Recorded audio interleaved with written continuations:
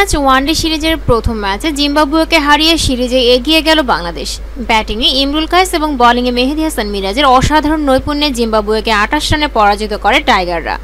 মিরপুরে টসে জিতে ব্যাট করে জিম্বাবুয়ের সামনে দুশো বাহাত্তর রানের টার্গেট ছুড়ে দেয় বাংলাদেশ। টার্গেটে খেলতে নেমে নির্ধারিত পঞ্চাশ ওভারে নয় উইকেট হারিয়ে জিম্বাবুয়ে দুশো তেতাল্লিশ রান করে। বাংলাদেশের হয়ে সর্বোচ্চ তিন উইকেট নেন মেহেদি হাসান মিরাজ। নাজমুল ইসলাম অপু দুই ও মাহমুদুল্লাহ মোস্তাফিজ নেন একটি করে উইকেট।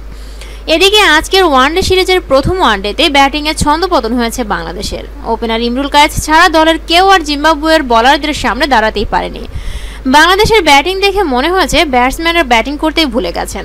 নতুনরা আবারও ব্যর্থ হয়েছেন। প্রায় প্রত্যেক সিরিজেই নতুনদের এমন ব্যর্থতা চোখে পড়ছেই।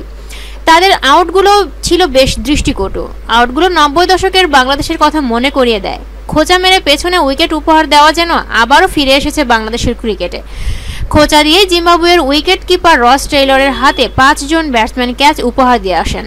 অবাক করা বিষয় মাহমুদুল্লাহ রিয়াদ ও মুশফিকুর রহিমও খোঁচা মেরে উইকেট বিলিয়ে দিয়ে এসেছেন।